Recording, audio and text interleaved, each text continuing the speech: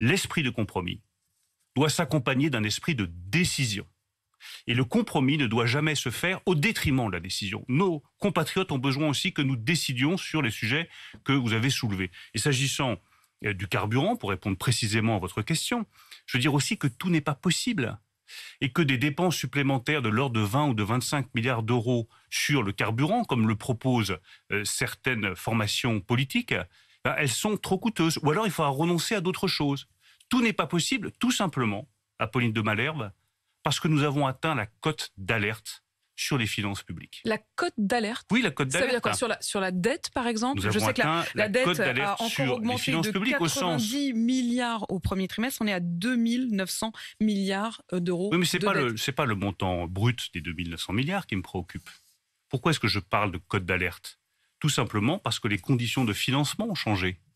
Que nous pouvions emprunter à 0%, voire à des taux négatifs, et qu'aujourd'hui, nous empruntons à plus de 2%.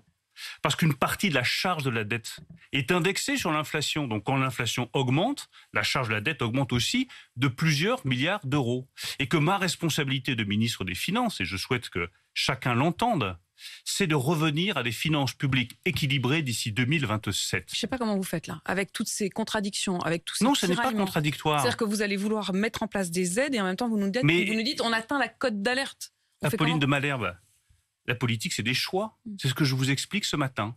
C'est que euh, nous avons des finances publiques qui doivent revenir à l'équilibre d'ici 2027, qu'il est impératif de réduire l'endettement public, car l'endettement public est une atteinte à notre indépendance et à notre souveraineté, qu'il faut, dans le même temps, protéger nos compatriotes qui sont les plus fragiles, mais le protéger de manière responsable, en faisant des choix. Qu'est-ce qui est notre priorité? Jusqu'où allons-nous? Pour combien de Voilà, temps? vous C'est de cela qu'il faut vous discuter. allez réveiller les, euh, les alertes qu'a lancé euh, LFI et Jean-Luc Mélenchon sur un programme caché euh, de réduction de la dette euh, qui euh, va entraîner mécaniquement une hausse des taxes. Mais le complotisme Ou en ne tout cas qui entraîne votre refus de Malherbe. baisser les taxes. le, le complotisme euh, ne fera jamais une solution pour la France.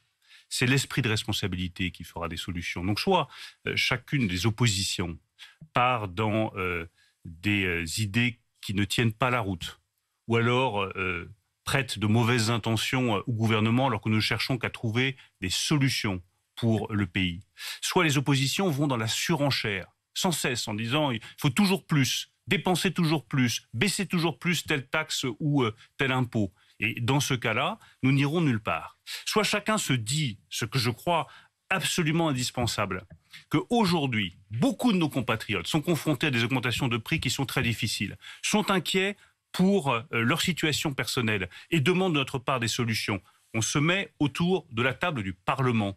Nous réfléchissons sur chaque sujet aux solutions les plus appropriées. Nous faisons des choix ensemble. Et moi, je suis prêt à entendre les critiques, les propositions, Enfin, vous êtes quand même les en train de nous alternatives. dire, Mais au bout d'un certain temps, il faudra décider et décider dans un cadre qui est contraint, qui est celui de nos finances publiques.